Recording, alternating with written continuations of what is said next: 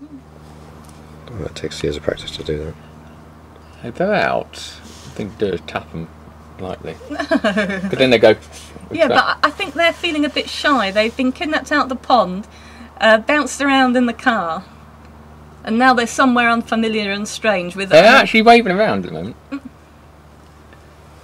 Are they properly out? Yeah, come and have a look from here. Look at the screen. Ah, Have a look at the screen, sweetheart. It's much better. Oh yeah, that's them.